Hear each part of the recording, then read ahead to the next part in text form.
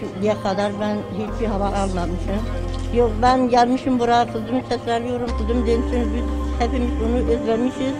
Gelsin eve onu yalvarıyorum. Başka bir şey istemiyorum. Kardeşim 2014'te dağa kaçırıldı.